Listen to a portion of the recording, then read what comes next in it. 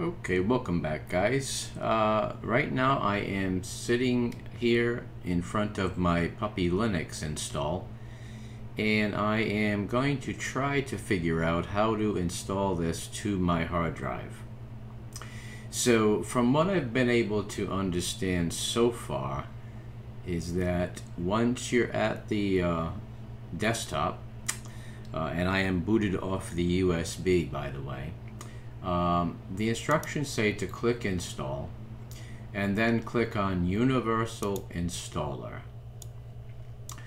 Then you want to install to an internal drive internal hard drive. So we will click on that. Now it's asking me where I want to install to and I want to install to SDB2 so we're going to see if we can find SDB and we're going to install puppy to SDB2. You see this on the right? So I'm going to click that. Press OK to install puppy. Okay. And let's see. Where are the puppy files?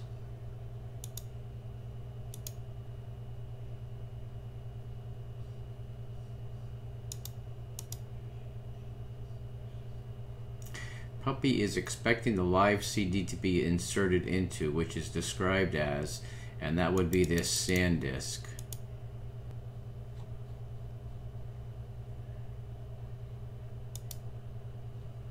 SDD. Now that's where it is. SDD1. So let's make sure we are mounted.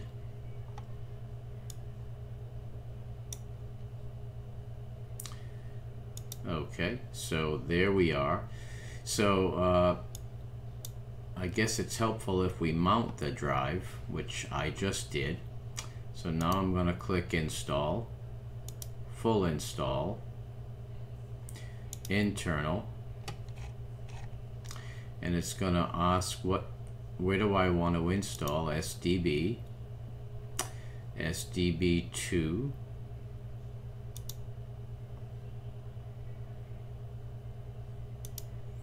okay. You have chosen to install to SDB2, which appears to be an internal hard drive. Frugal is recommended full, requiring usage of the entire partition. Okay, so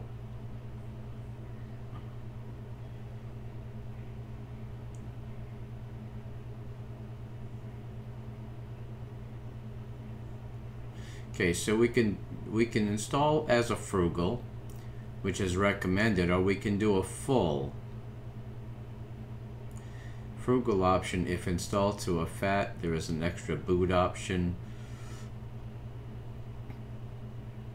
Okay, click frugal for coexist, click full for conventional. Um, the frugal leaves the previous contents of the partition untouched. Now, I'm gonna, I'm, I was intending to uh, format that anyway. So we're gonna go with a full install. Okay, SDB2, okay. And we're gonna go through the install. And then hopefully everything goes okay. Copying puppy files to SDB2. And so the key here is to click on install, but make sure you mount your USB drive so that it knows where to copy from. You now have the option to install a bootloader. I don't need a bootloader because I, I already have a bootloader on another partition on that drive. So I'm not going to install a bootloader. Would you like to install Grub? No. Okay. if all went well, Puppy has been installed to SDB2. Okay, and I'm going to, basically what I'm going to do is I'm going to boot up into my normal uh, grub. I'm going to run OS Prober and then I'm going to do a update grub and that should show uh, Puppy Linux available and I will boot into it. So let's, I guess all we need to do now is to reboot. So Puppy looks pretty cool. So I'm going to close this out.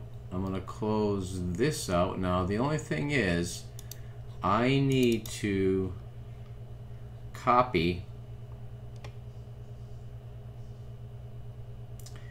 uh, there's SDB1 I'm going to home LAN desktop and I am going to copy this video to my SDB1 desktop. So if I go into file, my, well I'm going to stop the video, but if I go into my documents, you can see this video is the one that's that I'm making right now. So I'm going to copy those into my uh, Linux Lite desktop and I'll have access to those to be able to post them up on YouTube. So guys, I will uh, resume this video once I'm booted into my hard drive version of Puppy Linux. Bear with me. Be right back. Okay guys, so here I am booted to my hard drive and uh, no problems at all. I booted to my normal grub. Um, Linux Lite happens to be the controlling distribution on this particular drive. And so I booted into Linux Lite, ran OS Prober, ran update grub. Uh, it identified SDB2 as a Linux distribution. Once that was done, I rebooted, selected SDB2, and booted into my Puppy Linux where I was greeted with the quick setup screen. So I've got to go through now and make sure that I've got everything set up the way I want it. Um, I got to change the Los Angeles to America, New York. And I've got to use uh, UTC.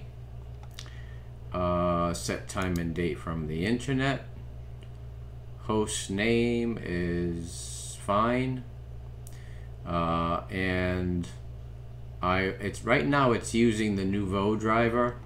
I'm gonna leave that alone until I find out how to uh, switch over to the NVIDIA. But right now the Nouveau is fine for the purposes uh, purposes of this video.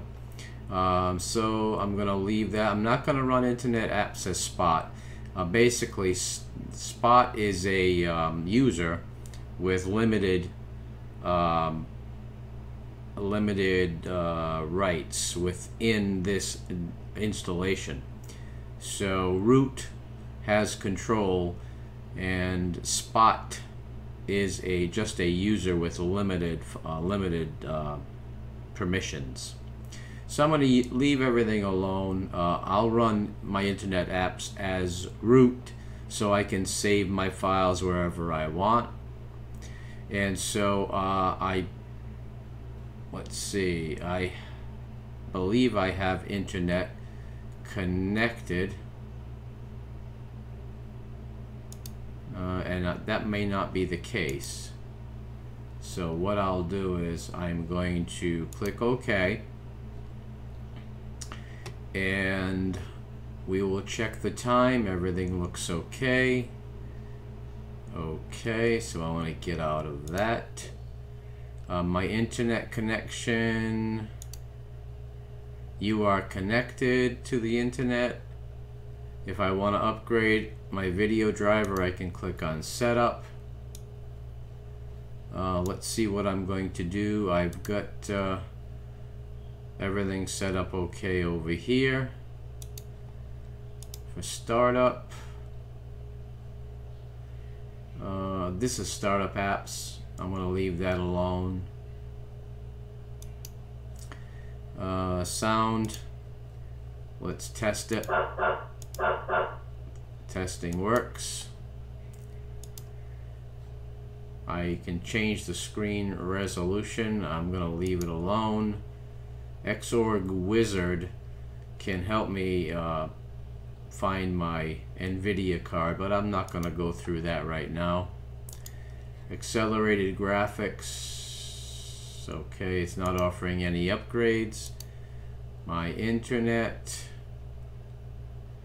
Okay, um, wired or wireless. So I have my, let's see, simple network. Okay, sophisticated, simple network. Okay, and these, and Puppy has identified these network. Uh, so I'm gonna click on that one, see if I connect. says I'm connected, but I'm doesn't look like I am. So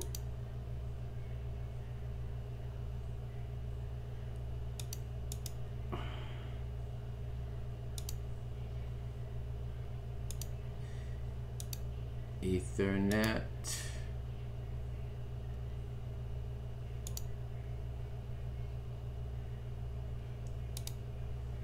Successful connection to wired network. Successful. Do you want to save this? Yes. And I am done. Okay, set, set as default. Okay. Okay. Let's check a browser. Uh, internet. And we have Pale Moon.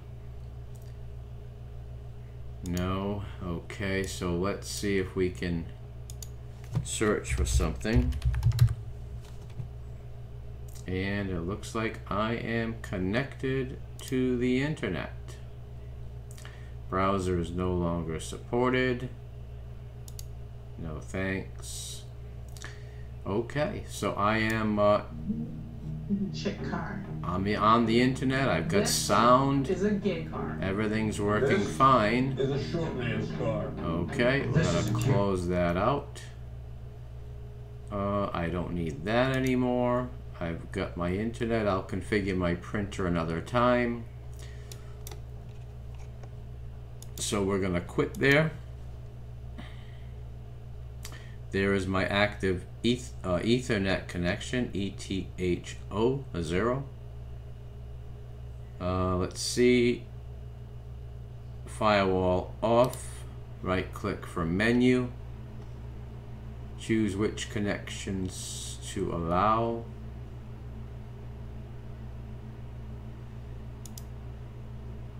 And let's see if I can turn this on.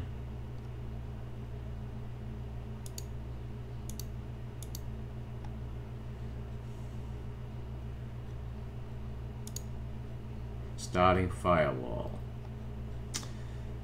Okay, firewall firewall turns green.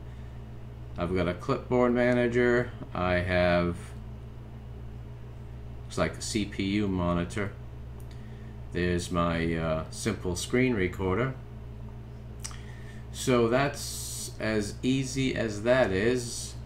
Uh, so if, if you guys were thinking about trying Puppy Linux, uh, it's pretty easy. Um, you, uh, what I would do is if if you uh, are going to download uh, Puppy Linux, let me show you how I did it. And let's go back to Pale Moon. And let's do a search for Puppy Linux. Download.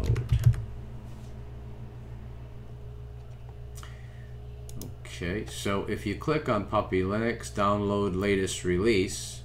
I didn't do Slacko. I got TahrPup.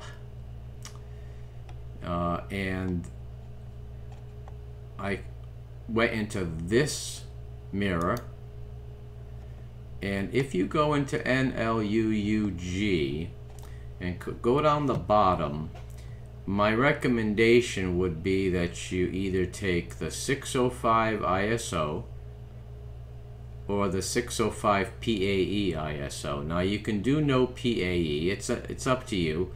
Um, but I went with the 605 ISO. It's a small download.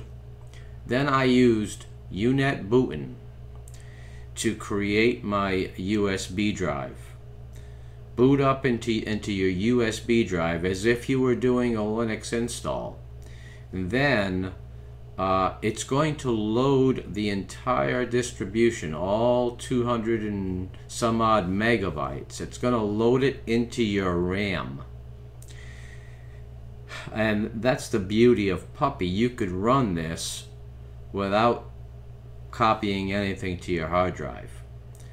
But um, I wanted to go through that process uh, to show you guys how to do it, which is what which is why I did the install to hard drive.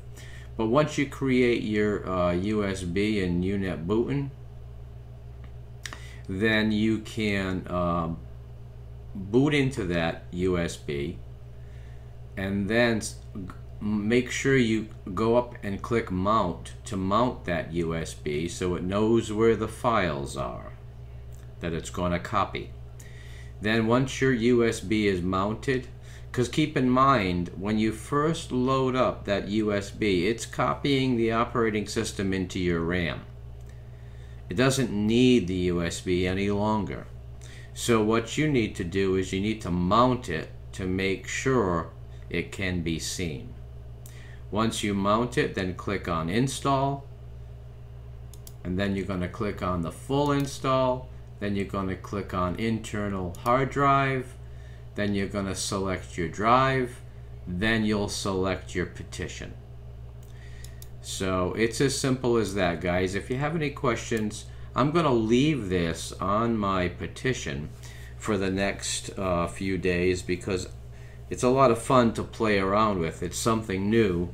I don't know really much at all about Puppy Linux, but uh, I'm going to learn about it over the next few days. So, uh, guys, I hope you uh, enjoyed this little excursion into Puppy Linux. And um, the reason I don't have my camera on is because I uh, tried to install GUVC View, and I do have it installed. As you can see, let's see, where is it? Well, hmm. Thought I had that installed. But needless to say, it would not function because it. It could not recognize the. Uh, it could not recognize the camera. Now it's not for some reason it's not showing up. So I'm going to go through that. Let's go into the uh, package manager, puppy package manager. Close out my browser. And if I search on GUVC View, it tells me that 1.71 is available. That's from Ubuntu Trusty Universe.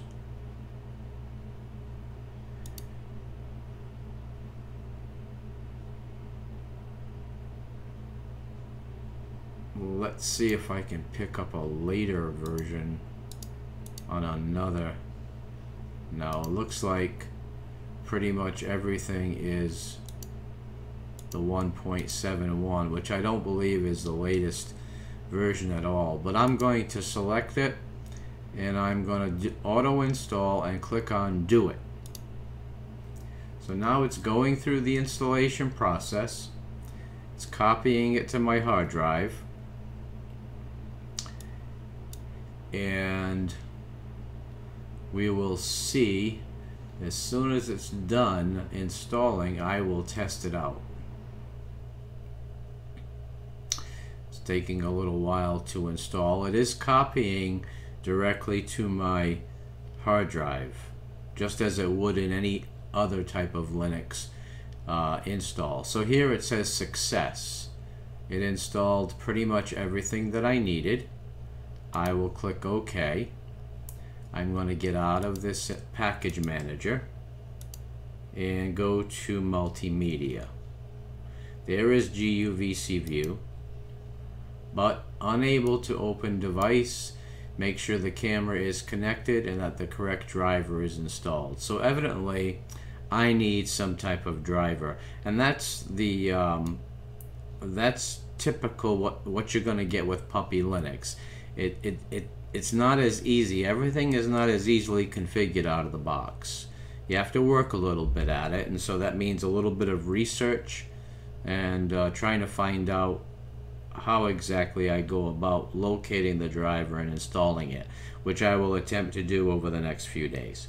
So guys, that is the uh, end of this video. I hope you enjoyed it. Please rate, comment, and subscribe, and I will see you soon. Take care.